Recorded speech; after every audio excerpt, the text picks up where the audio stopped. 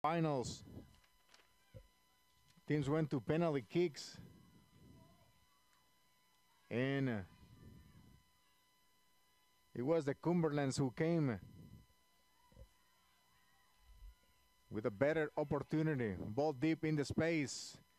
Alert Love. Hutto with a head. Goal. Goal.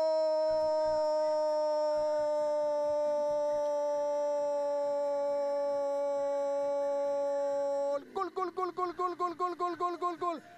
Goal. Megan with the 1-0 for John Brown University. Top of the third minute of the first half, and you can see it on the replay how everything happened. The ball came deep as Buchanan sends the ball, and the goalkeeper couldn't get to that. The defense tried to clear it up, and then Alair Lowe serving the ball for Megan Hutto to put the 1-0. Great job by Buchanan sending the ball. The freshman fight off from Brentwood, California.